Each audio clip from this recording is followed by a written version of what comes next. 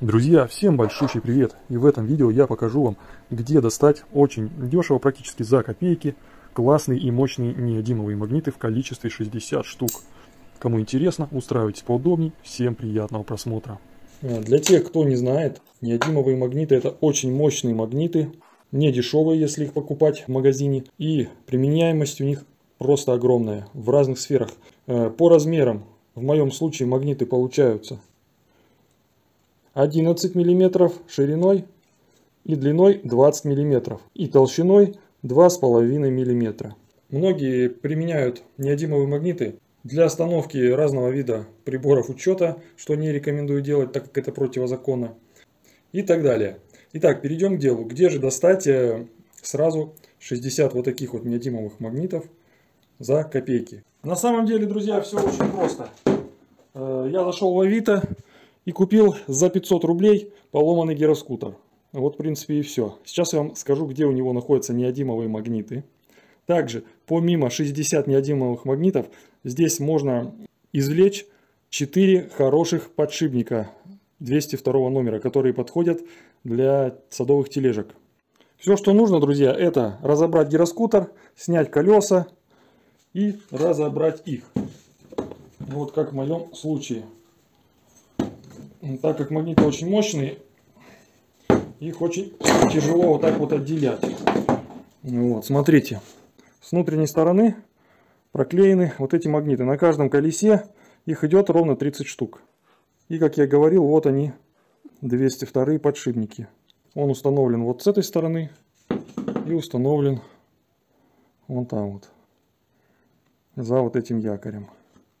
Все, получается, их сним, снимаешь и имеешь 4 подшипника с гироскутера. Сейчас один подшипник вот такой вот стоит порядка, наверное, 200 рублей. А то, если он все хорошего качества, и то дороже обойдется.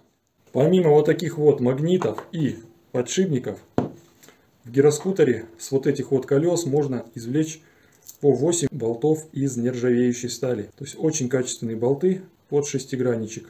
Получается в общей сложности 16 штук. Итак, возвращаемся к магнитам. И сейчас я покажу, как их отсюда извлекать, так как они здесь приклеены.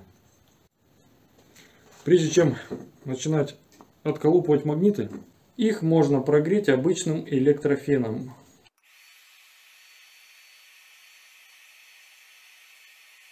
Также хочу вас предупредить, э, с нагревом не переусердствуйте, так как магниты могут потерять свое свойство. Нагревать без фанатизма.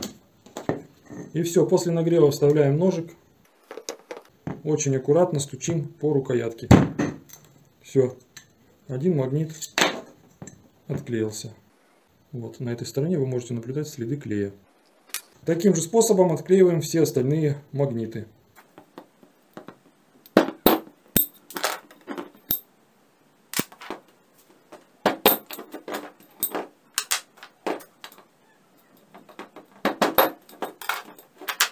Итак, друзья, вот я магниты извлек. Некоторые, конечно, сломались, но основная часть остались целые. Вот. Если, конечно, руку набить, то можно ни одного не сломать. Это... Теперь остается извлечь вот этот вот подшипник отсюда.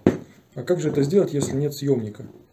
Все очень просто. Берем вот такую канцелярскую прищепку, извлекаем из нее вот эту вот ручку. Далее вставляем ручку вот сюда все, как вы видите, произошел зацеп. Она своими ножками зацепилась изнутри за магнит. Там, видите, есть пространство небольшое. И все, при помощи отвертки легким движением извлекаем подшипник. А, кстати, если вы хотите знать, как я применяю э, гироскутеры с рабочими мотор-колесами, ссылку на мое видео я оставлю в описании. Как я изготовил из старого гироскутера грузовой электровелосипед. Довольно мощный, сам не ожидал, что так получится. Так что, друзья, кому интересно, переходите, смотрите. Ну а на сегодня все. Спасибо большое за просмотр. Всем добра, удачи, успехов. Надеюсь, был вам полезен. Пока-пока.